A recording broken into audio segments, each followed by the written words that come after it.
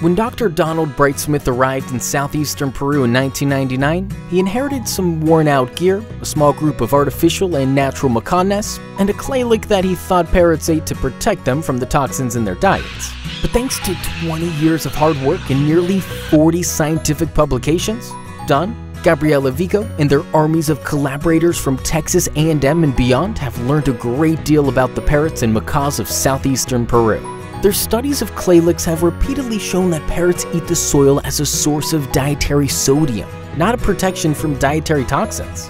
They discover that clay lick used by macaws and parrots varies greatly throughout the year. Nearly all species clay lick use peaks during the breeding season, specifically when the birds have small chicks in the nest.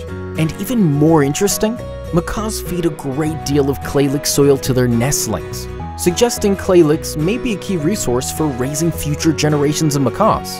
Since 1999, their teams of assistants have monitored over 90 different macaw nests. They have found that the most popular nests are the large ones that were used last year, and that macaws fight bitterly to occupy these favorite nests. They found that the leading cause of macaw chick death is starvation. Macaw parents provide differential parental care to their chicks, favoring the first hatched and neglecting subsequent hatched individuals. Nearly half of all second hatched chicks starve, and all third and fourth chicks are let to starve.